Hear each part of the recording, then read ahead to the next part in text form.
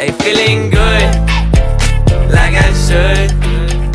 When in dark, walk around the neighborhood. Feeling blessed.